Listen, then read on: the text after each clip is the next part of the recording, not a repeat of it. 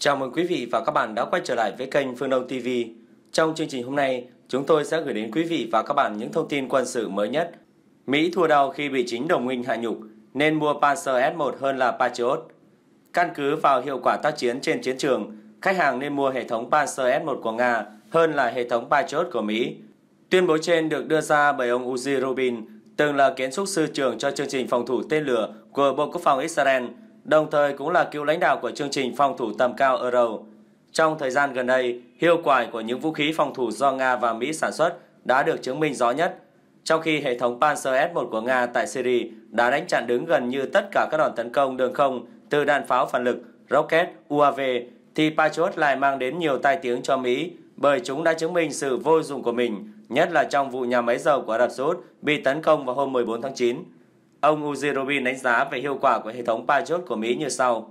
Tại thời điểm đó, nhà máy này và nhiều mục tiêu trọng điểm khác của Ả Rập Xê Út đang được đặt trong tầm tác chiến của Patriot. Thế nhưng, những vũ khí đã không có bất kỳ phản ứng nào với đòn tấn công bằng tên lửa hành trình và máy bay không người lái đó.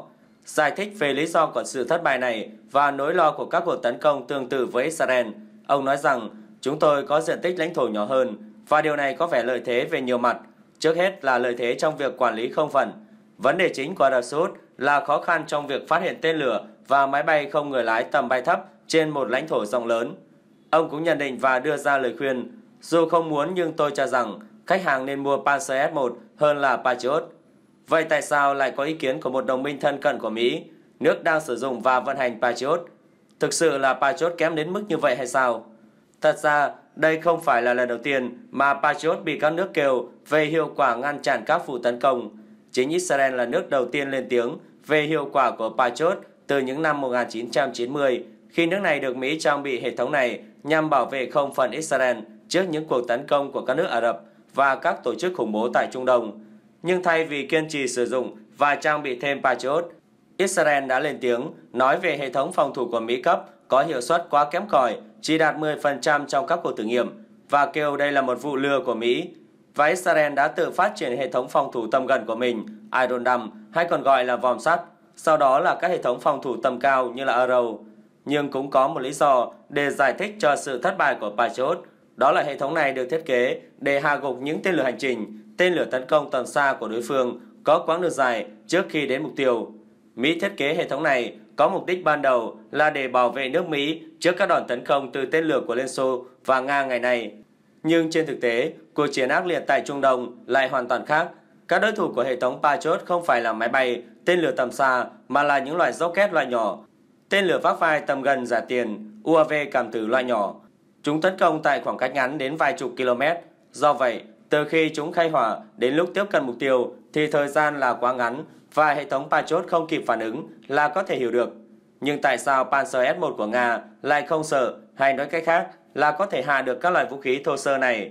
Bởi đơn giản, Panzer S1 được thiết kế để phòng thủ các cuộc tấn công ở tầm gần, còn tầm xa đã có các hệ thống S300, S400 lò nên radar và vũ khí mang theo của Panzer S1 chỉ tập trung phát hiện và tấn công các đối tượng ở tầm gần, khoảng cách 20 km trở xuống. Cụ thể, theo thiết kế, Panzer S1 là hệ thống vô cùng phù hợp để đánh chặn các loại tên lửa hành trình, máy bay không người lái, các loại bom lượn, thậm chí là các loại đạn pháo, rocket phóng loạt, những mục tiêu nằm trong phạm vi nhiệm vụ mà nó được định hướng từ khi thiết kế.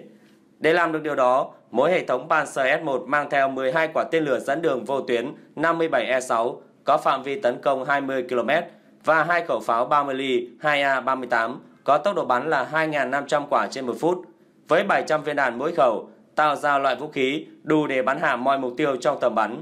Hệ thống này có thể nhanh chóng phát hiện các phương tiện tấn công mục tiêu mặt đất và tiến hành đánh chặn nó. Việc Panzer S1 đã bắn hạ tất cả các mục tiêu đáng ngờ trên không phận Syria đã cho thấy rằng lực lượng phòng không của Nga tại Syria đang hết sức cảnh giác, sẵn sàng bắn hạ tất cả những mục tiêu nào mà họ thấy nguy hiểm, hiện diện bất hợp pháp trên không phận Syria. Việc Panzer S1 đánh chặn thành công tất cả các loại phương tiện và vũ khí bất hợp pháp tại Syria cũng cho thấy hiệu quả rất cao của nó, vượt trội mọi vũ khí tương tự của phương Tây như là hệ thống phòng không Patriot Park 3 của Mỹ hay là hệ thống Iron Dome của Israel.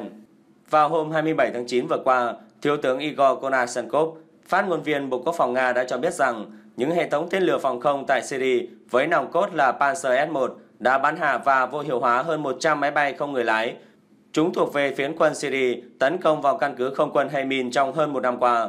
Tuy nhiên, người Mỹ lại không nghĩ như vậy và đổ lỗi cho các cuộc tấn công tại Ả Rập Xê Út với cách lý giải hoàn toàn khác.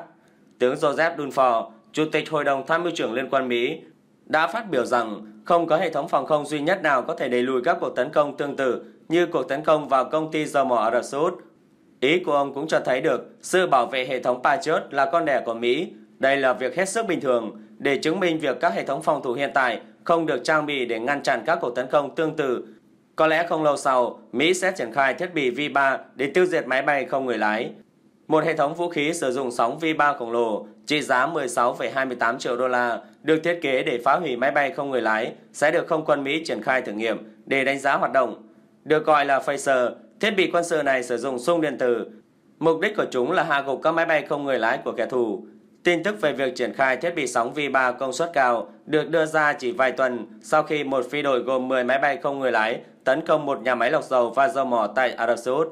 Vũ khí được gắn trên một xe móc, có thể phát hiện và theo dõi các mối đe dọa bằng cách sử dụng radar hoặc được cắm vào các cảm biến khác. Phaser có thể điều khiển bằng một nguồn năng lượng sóng V3 theo hướng máy bay không người lái.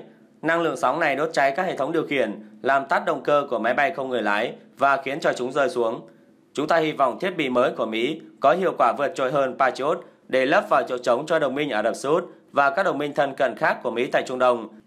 Và cũng là lấy lại thể diện cho Mỹ sau hàng loạt thất bại của các hệ thống phòng thủ tên lửa so với Nga. Nhưng cho đến khi chứng minh được hiệu quả, thì sự thất bại của Patriot trước các hệ thống tương tự của Nga là một đòn giáng mạnh vào niềm kiêu hãnh mang tên Mỹ.